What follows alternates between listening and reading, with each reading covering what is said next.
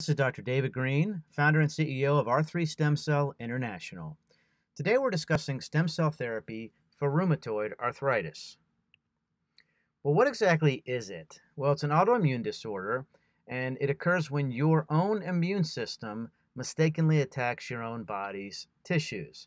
So on the left here in the cartoon, you can see an area of the knee of normal cartilage with the meniscus. And on the right, you can see where the uh, joint is degenerative from the rheumatoid process. And basically, what happens is your body attacks the synovial tissue, which then proceeds to break down the joint and the cartilage. So, a few statistics 60% of people with inadequately treated rheumatoid arthritis are unable to work a decade after onset. Uh, rheumatoid arthritis affects 1% of the population globally, some countries more.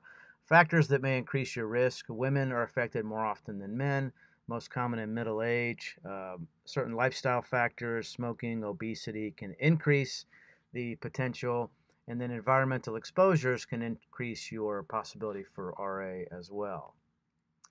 RA increases the risk of heart attack and stroke uh, by a lot, 60% more one year after diagnosis. So there's a lot of secondary potential complications. Infections may be responsible for 25% of the deaths in people with rheumatoid arthritis, and people with RA are twice as likely to suffer from depression. One of the uh, things we'll talk about is that um, a lot of immunosuppressive medications are used in people with rheumatoid to help stop the body from fighting itself, and that can have its own set of issues, such as the infections. Annual medication costs, this comes from the United States, uh, it's 15 to 20,000 per patient per year. Um, and the uh, um, other associated costs are almost close to $6,000. So as I mentioned, there can be some secondary complication. Here's some of them. Uh, potential for stroke, eye problems, lung issues, diabetes can be a result, sleep issues, depression, heart disease, vasculitis, and blood disease, as well as osteoporosis. And then, I don't know if we don't see it on here, but arthritis, obviously, of the joints. So, conventional treatment options um, uh, go by the main treatment goal is to control the inflammation, to relieve pain, and reduce the disability. The problem is that very few of these medications actually change the course of the disease. Uh, nonsteroidal anti-inflammatories such as naproxen, um, ibuprofen, Celebrex, those can be very helpful. DMARDs uh, stands for disease-modifying agents, so they do change the course of the disease a little bit, such as methotrexate, plaquenil, sulfasalazine. All of these have significant side effects. Methotrexate was originally approved in the United States, at least, for a cancer drug. So all those are very toxic uh, to one's body. Uh, newer biologics, Humira, Enbrel, Remicade, and then good old steroids such as prednisone. Surgeries that can help with pain relief may include joint replacement or a joint fusion. And then uh, occupational physical therapy may help too. Now, stem cell therapy for rheumatoid arthritis is truly a new paradigm uh, in you know something we haven't seen in decades. It's a non-operative treatment that can actually repair and regenerate damaged tissue, while at the same time providing relief and improving a person's ability to function. It's a low risk treatment, it's outpatient, it's been very effective, uh, one of the most effective treatments that we offer around the world. And our protocol is usually what we call a hybrid, which is a combination of intravenous as well as focal injections. So, how do the stem cell biologics work? Well, there's proposed four or maybe five mechanisms, the most prominent of which is called paracrine signaling. And all that means in layman's terms is cell to cell communication, where the stem cells themselves recruit other cells in your body that help promote new blood flow, reduce uh, neuron and cartilage cell death, and other death of certain cells. Um, so it can be very, very effective.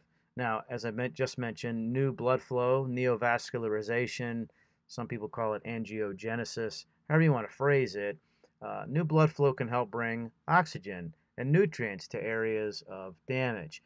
Immunomodulation, in the case of rheumatoid arthritis, is probably the most important aspect of what we're trying to accomplish. And what we can do is the stem cells uh, can help, and also the exosomes and cytokines, all the different elements of the regenerative biologic can help to modulate and mitigate the body from fighting itself. So it can uh, halt or significantly slow down the process of rheumatoid arthritis, mistakenly going after uh, the body, uh, such as in the joint, and it can really really change the course of, of the disease. So I just want to go through a few studies to show you just how effective um, these treatments can be. Human umbilical cord mesenchymal stem cell therapy for patients with active rheumatoid arthritis. Um, in this study, it was 172 patients who had tried conservative therapies that just weren't working. And they had two groups uh, the DMARDs, which I showed before, like methotrexate, Plaquenil, um, alone or the DMARDs plus the umbilical cord mesenchymal stem cells, and they gave 40 million cells at, at a time. Um, and they looked at serum markers of inflammation, like CRP and things like that. And they noticed that treatment induced a significant remission of the disease. Um, in those patients who had repeated infusions, they noticed better results. The DMARDs alone had really no benefit. So the conclusion, they noted that the treatment with the DMARDs plus the umbilical cord stem cells may provide safe, significant, and persistent clinical benefits for patients with active rheumatoid arthritis. Here's another study looking at IV infusion of umbilical cord blood derived mesenchymal stem cells in RA. Um, and this was nine patients, so not a huge amount, who received anywhere from 25 to 100 million uh, stem cells. And by uh, intravenous um, medium. There were no complications, and they noted that inflammatory markers were decreased significantly at a month. Um, here's another study the efficacy and safety of umbilical cord stem cells for RA. This was 64 patients, large age ranges, um, and they got 20 million uh, stem cells, and they followed sed rate, CRP, rheumatoid factor at one and three years after treatment, and they noted that at all time points, those were lower than that of pretreatment, which was significant. And the result of this study supported the use of umbilical cord stem cells, as all these patients had failed traditional drug treatment and obtained symptomatic improvements as well as the you know reduced markers of inflammation at three years out from treatment. So here's an example of a patient from that study who was experiencing significant swelling in both hands. Um, and in 2010, he was admitted for this study. Um, he couldn't keep his hands straight at that time. So after three years, so persisting with the great results, he had stopped using his anti-rheumatoid rheumatism medicine, and you see that the swelling was down. He was able to, to I mean, this is the same patient, so amazing. Here's another one, a 33 year old lady um, who'd had four years of symptoms. Um, and this was one week after treatment. The swelling was down, able to uh, fully extend the fingers. All right, so one of the reasons that we use umbilical cord mesenchymal stem cells um, is because of what you see here. Bone marrow mesenchymal stem cells and rheumatoid arthritis and other autoimmune diseases in this study noted that there could be problems when using those types of stem cells. Um, when they used autologous or allogeneic bone marrow, um, they noted that it's supposed to be a great treatment, but there was a small subset of patients who had an adverse um, effect that we have never seen in umbilical cord mesenchymal stem cells. So the conclusion, and I just showed a few studies, there's many out there, um, and our experience as well. Many small and medium studies early clinical trials and our own experience show that stem cell therapy for rheumatoid arthritis is not only safe, but very, very effective. And we're not talking about for a few weeks. As you saw in the studies, it's you know one year up to three years. These studies looked at. The key point is that it appears that high stem cell numbers are necessary for the best outcomes. So we use anywhere from 20 million up to 100 million stem cells, depending on the severity of, of the patient's disease. We've often seen a combo to work really well. For instance, if a patient has symptoms all over, but one of their knees or both knees are really, really symptomatic, then most likely they're going to benefit from an IV plus injection into the knees. Um, umbilical cord mesenchymal stem cells um, is what we use, and they come from an FDA regulated lab out of the United States. We've never had a significant adverse event ever in over 15,000 procedures. I do want to mention that um, we do not use embryonic stem cells or induced pluripotent stem cells. Those types of stem cells are not ready for prime time use by a long shot. There's a lot of research that still needs to occur, so you should run away if anyone suggests those types of stem cell treatment. What we use are adult stem cells. Um, they're classified that, but they do come from postnatal tissue from a consenting mother after a scheduled C section. But at any rate, they are mesenchymal and hematopoietic stem cells, and those we've been using for a decade.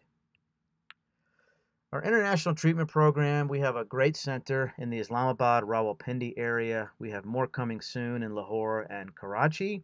The process is very simplified. Uh, con contact us, we'll set you up with a free phone consultation where one of our experienced stem cell doctors will talk to you, understand your symptoms, what treatments you've had, look at any medical records you have available. Um, we have several doctors, um, internists, orthopedic, um, kidney, liver, you know, all across the board. Uh, our patient concierge representatives will assist you with all your travel logistics if you're coming in from out of the country, including uh, travel from the airport to the clinic, hotel, you know, and, and back. I do want to mention once more about the cells. The cells come from a U.S. lab. It's FDA regulated, pristine safety record. The quality assurance abides by and goes above the stringent FDA standards. Um, they require a CGMP lab with clean room, um, tracking, um, very high levels of, of, testing are necessary to assure against uh, any transmission of communicable diseases. We've never had that happen in over 15,000 procedures. Um, our umbilical cord stem cells do get cryo preserved, and when we thaw them out, it has over a 90% viability.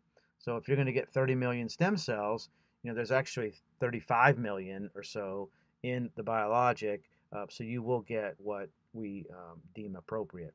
And these are pure potent cells. Um, we do culture them, so we culture them and be very careful not to over culture so that they stay um, pure, potent, very active stem cells. Uh, R3, uh, I started the company eight, nine years ago. Uh, we recently won the USA's leading regenerative therapy services provider.